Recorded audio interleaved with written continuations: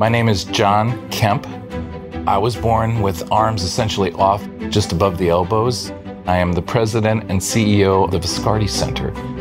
The Viscardi Center services to 170 medically fragile, physically disabled students. There were many gifts that I got from being a person with a disability insight and empathy. I'm John Kemp, and I am able.